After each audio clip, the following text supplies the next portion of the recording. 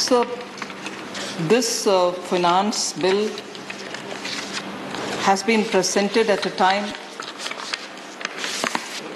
when uh, the revival from the pandemic days is still an ongoing job, and we are focusing on a sustained growth, recovery, with a predictable taxation regime and ensuring that the newer challenges which are before us, whether at the time of the budget presentation I hadn't taken on board the Omicron, and now we are also facing the situation of a full blown war in Ukraine, which is not some war in some corner of the world, but it is seemed to be having impact on all countries like the way the pandemic had. But this impact is disruption to very many supplies, the value chains are all broken, newer markets are emerging. At the same time, old markets are all caught up in a situation where nothing is normal. So you're, you're actually in a situation where like the way during the pandemic we came up with a budget and then came the second wave. This time we came up with a budget so that continuity in recovery will be aimed at, and then came Omicron. Now we also have a war whose impact is being felt by all of us. However, if we just go back to the realities which hold good for the budget of last year and the budget of this year, and therefore reflection in the finance bill, is that we've not taken taxation as a route for mobilizing resources. I said this in the Lok Sabha. I was uh, pleasantly surprised to hear very many members here also referring to my response there.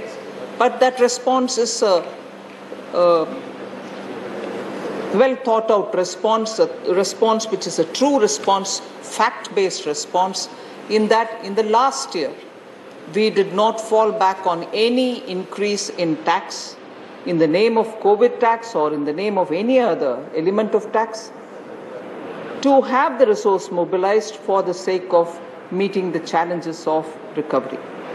So did we in this budget as well.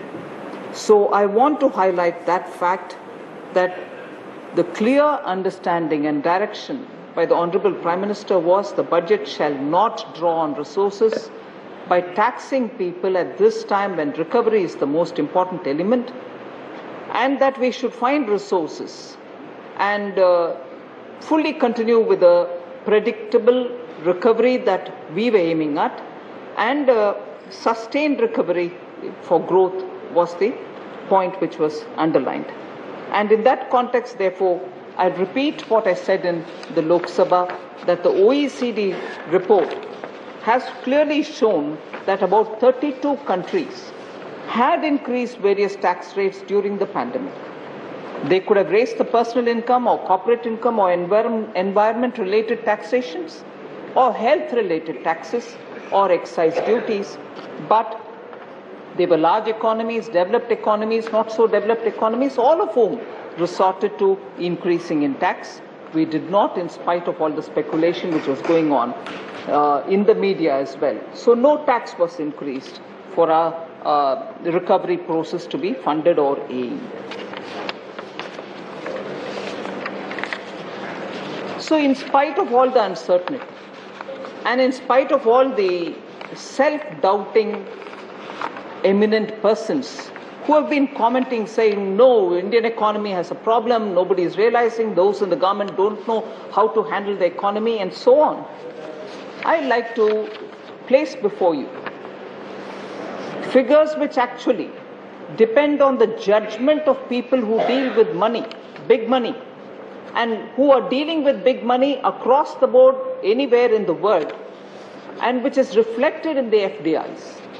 The FDI inflow into India, sir, in FY21 was 81.72 billion dollars, US dollars.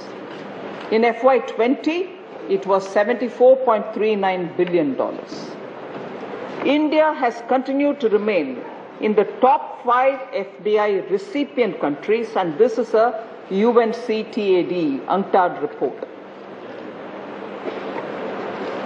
I'd like to say that in the seven years and nine months of Prime Minister Modi's government till December 2021, the FDI inflows into India has been 500.5 billion dollars and that is about 65% higher than the FDI inflows during the entire 10 year regime of the UPA.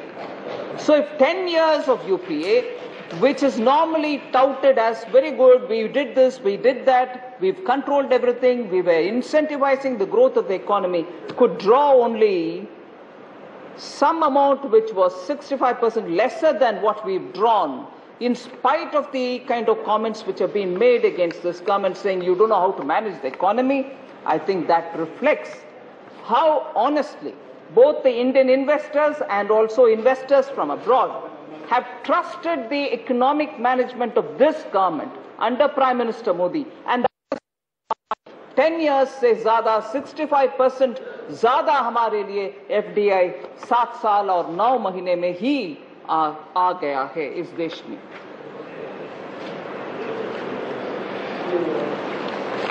So I now go responding to the observations made by eminent speakers, most uh, members of the House, so that it covers at a go the issues raised by individuals, but at the same time answer those issues which have been raised by that member, but also equally by others. There were questions raised by senior member Shakti Singh Gohil that the COVID 19 emergency response and health system preparedness package, which was given 15,000 crore, has it actually been utilized? What is happening? And so on. So the Union Cabinet on 22nd, uh, 22nd April 2020 itself approved significant investments in the health sector. 15,000 crores were allotted. The funds, funds which were sanctioned were to be utilized in three phases and for immediate COVID emergency response uh, mechanisms, particularly for that, 7,774 crores were provisioned, and the rest for medium term support, which is about one to four years uh, programs which will be taken up, and all of them taken up in mission mode approach. So we have attended through from 2020 itself for funding uh, emergency response mechanisms and uh, infrastructure which is so required for that. Also, health related COVID measures being the issue of concern, 23,123 crores have been again provided for a second phase of health preparedness packages, and this has also gone through. And this was um, approved by the cabinet on July 8, 2021. So one was uh, April 2020. The next was in 2021. We've given 23,123 crores. Again, that is for health preparedness.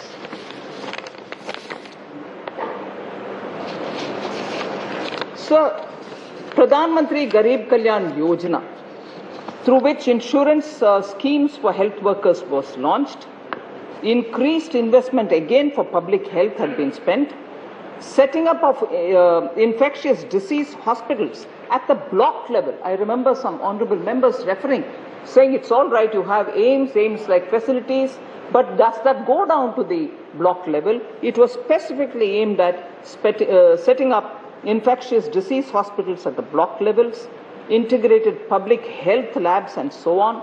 900 crores have been provided to Department of Bio Biotechnology for research and development purely for COVID vaccine. And then 1.1 lakh crore loan guarantee scheme for COVID affected sectors has also been given, of which 50,000 crores was purely for the health sector.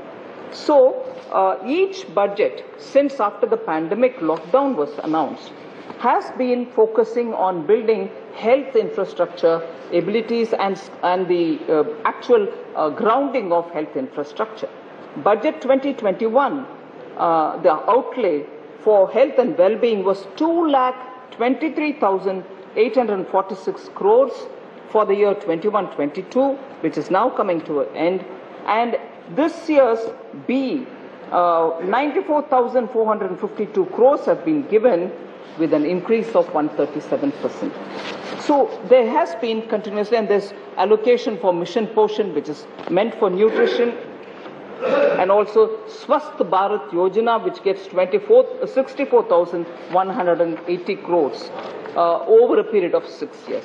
So specifically issues related to health emergency response system, health emergency infrastructure, the allocations have been steady from 2020 and substantial in order that health infrastructure get strengthened.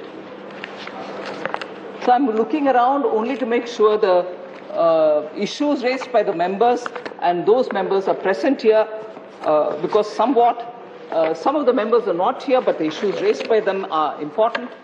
Uh, there is a kind of a practice which I've got used to in the Lok Sabha where the speaker has, uh, of course that shouldn't matter here but I would just say it, saying if the member who raised the issue is not here you don't need to respond to them. But I would still think because for the benefit of the House here, um, even if the member is absent, I would want to respond to it because the issues raised have been very uh, important. Sir, member Amar Patnaik had raised, uh, based on his, uh, I think, vast experience in dealing with accounts and uh, also being uh, very familiar with public accounts and so on, has raised very uh, critical questions about cesses and surcharges. Cess and surcharge having become very much more significant, his concern was has it led to a situation where the state's share in the devolution has come down? I would uh, seek your indulgence, sir, sir, in that I would go through a bit of an elaborate uh, explaining it in three different uh, silos because it's a very important uh, aspect of the debate, and I think all of us, every member, would want to know about it, and I would rather put this up front so that people know the arguments which every now and then, even during the question hour or otherwise, all of us give as response. It may sound, many people, without the narration here, it looks as if we are just saying, no, no, we have not. But actually, I'll put, put before this August House the facts which govern. So, as per Article 271 of the Indian Constitution, all taxes and duties, except surcharges and cesses levied for, after all, they are levied for specific purposes, shall be distributed to the Union and uh, the, between the Union and the states.